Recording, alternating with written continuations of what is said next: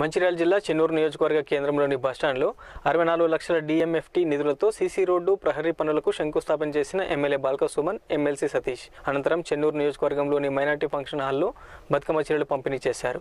ఈ సందర్భంగా ఎమ్మెల్యే బాల్క సుమన్ మాట్లాడుతూ చెన్నూరును ముందుగా చెప్పినట్టుగానే అన్ని రకాలుగా అభివృద్ధి చేస్తానని చెన్నూరుని రెవెన్యూ డివిజన్ అవ్వాలని చాలా మంది ప్రజలు అభిప్రాయపడుతున్నారని దాని ఏర్పాటుకు కృషి చేస్తానని చెప్పారు.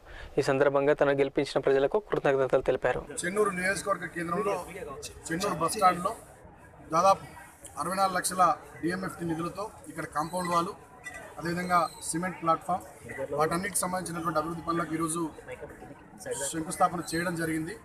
సో దీని ద్వారా చెన్నూరు పట్టణంలోని ఈ బస్ స్టాండ్కు గతంలో వర్షాకాలంలో ఉన్నటువంటి వచ్చేటటువంటి అనేక రకాలైనటువంటి ఇబ్బందులు కానీ అవన్నిటిని కానీ ఖచ్చితంగా అధిగమించడం సాధ్యమవుతుంది.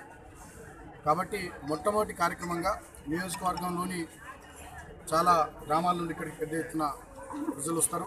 సో వాళ్ళకి సౌకర్యవంతంగా ఉండేటట్టుగా వర్షాకాలం కూడా ఎలాంటి ఇబ్బంది లేనటువంటి పరిస్థితి ఉండేటట్టుగా సిమెంట్ ప్లాట్ఫామ్ అదేవిధంగా కాంపౌండ్ వాళ్ళు నిర్మించాలనేటటువంటి నిర్ణయంతో నేను మా ఎమ్మెల్సీ గారు అరవై నాలుగు లక్షల రూపాయలు డిఎంఎఫ్టీ ఫండ్స్ పెట్టించి టెండర్ ప్రక్రియతో పూర్తి చేయించి ఈరోజు దానికి సంబంధించిన శంకుస్థాపన కార్యక్రమంలో పాల్గొంటున్నాం సో ఇప్పటికే చెన్నూరు నియోజకవర్గానికి సంబంధించి ఎమ్మెల్యేగా నేను ఫలితాలు వచ్చి గెలిచిన తర్వాత పూర్తి స్థాయిలో ఈ అభివృద్ధి కార్యక్రమాలకు పెద్ద ఎత్తున శ్రీకారం చుట్టాలని నిర్ణయించుకోవడం జరిగింది.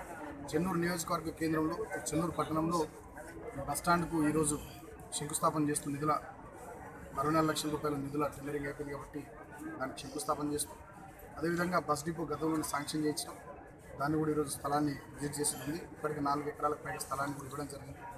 అంతేకాకుండా చెన్నూరు పట్టణ అభివృద్ధికి సంబంధించి ఏమేమి కార్యక్రమాలు చేయాలో ఈరోజు ఒక సమీక్ష సమావేశం కూడా సాయంత్రం నిర్వహిస్తున్నాం అదే చూడడం జరుగుతూ ఉంది. సో అదే కాకుండా చెన్నూరుకు సంబంధించి రెండు మూడు ప్రధానమైనటువంటి అంశాలు ఈరోజు మీ మీడియా ద్వారా కూడా చెన్నూరు ప్రజలకు తెలియజేయాలని చెప్పి నేను అనుకుంటా ఉన్నా. గతంలో చెన్నూరు నియోజకవర్గంలో చెన్నూరును రెవెన్యూ డివిజన్ చేయాలని చాలా పోరాటాలు జరిగినాయి. కోటపల్లి మండలంలో పారిపల్లి మండలం కావాలని చెన్నూరు మండలంలో అస్నాథ్ మండలం కావాలని చెప్పి గతంలో చాలా పోరాటాలు జరిగినాయి. కానీ అది కార్యరూపం దాల్చుకోలేదు. సో గడిచిన కొన్ని రోజులుగా ముఖ్యమంత్రి గారు రెండు జిల్లాలకు సంబంధించి కొన్ని రెవెన్యూ డివిజన్లకు సంబంధించి కొన్ని మండలాలకు సంబంధించి నిర్ణయాలు తీసుకుంటూ ఉన్నారు. సో మా సంగతి ఏంటని చెప్పి నాకు కూడా చాలామంది విజ్ఞప్తులు చేస్తూ ఉన్నారు. కాబట్టి చెన్నూరు రెవెన్యూ డివిజన్ చేసే విషయంలో కోటపల్లి మండలం నుంచి పారిపల్లి మండలాన్ని ఏర్పాటు చేసే విషయంలో చెన్నూరు మండలం నుంచి అస్నాథ్ మండలాన్ని ఏర్పాటు చేసే విషయంలో డెఫినెట్గా ఈ మూడు అంశాలని ముఖ్యమంత్రి గారి దృష్టికి ఇప్పటికే తీసుకొని పోయినాం. రాబోయే రోజుల్లో మళ్ళీ వారిని ప్రత్యక్షంగా కూడా కలిసి ఈ అంశానికి సంబంధించి వారికి నివేదించి వారిని ఒప్పించి ఖచ్చితంగా రాబోయే రోజుల్లో ఇది ముఖ్యమంత్రి గారి ఆశీర్వాదంతో చెన్నూరు రెవెన్యూ డివిజన్ అదేవిధంగా పారుపల్లి ఆస్నాథ్ రెండు మండలాలు ఏర్పాటు చేయడానికి స్థానిక శాసనసభ్యుడిగా మొన్ననే దాదాపు ఇరవై ఎనిమిది వేల పైచిల్ కోట్ల మెజార్టీతో నన్ను ఆశీర్వదించి ఎమ్మెల్యేగా చేసినటువంటి చెన్నూరు నియోజకవర్గ ప్రజల కోసం ఈ రెండు కార్యక్రమాలను కూడా చేయబోతా ఉన్నాం. Thank you